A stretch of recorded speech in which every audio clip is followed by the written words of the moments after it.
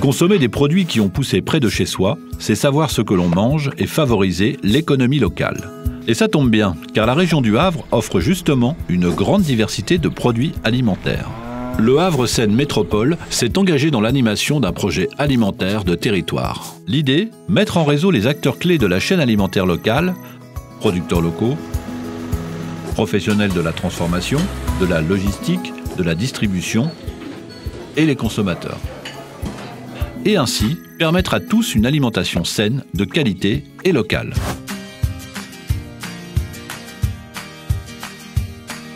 Des crèches euh, pour la petite enfance, nous euh, privilégions principalement euh, les circuits courts et nous travaillons beaucoup avec des produits locaux. On a une grande qualité de produits hein, puisqu'on n'a pas effectivement tout ce circuit de transport ou de chambres réfrigérées pour conserver les produits. Donc on a des produits de bonne qualité, des produits de saison qui nous permettent nous après de les transformer pour proposer des repas de qualité variés pour les jeunes enfants.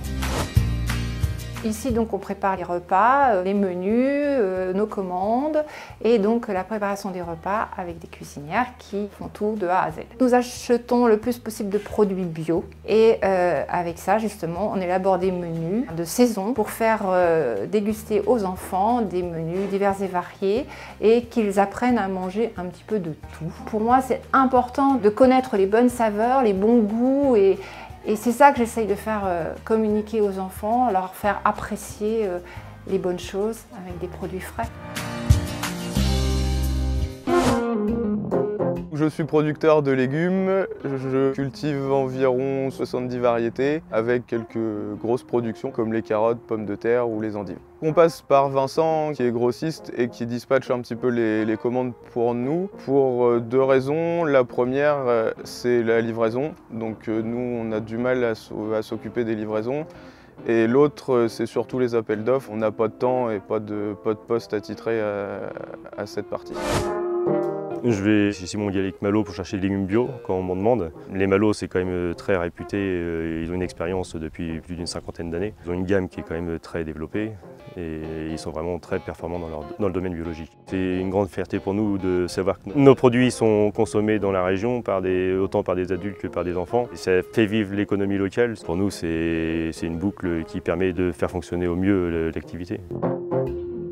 Aujourd'hui, la cuisine centrale s'approvisionne environ à 70% en circuit court.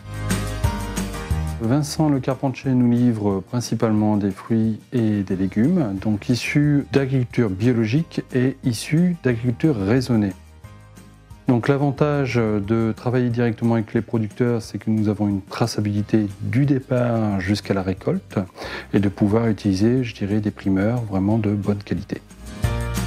Les marchés publics nous permettent aujourd'hui de pouvoir acheter des produits durables et surtout d'avoir une pratique d'achat plus pertinente. Il faut, je pense, revenir à des choses plus simples, c'est-à-dire aller vers le producteur pour déjà établir les contacts, l'accompagner aussi à répondre au marché public.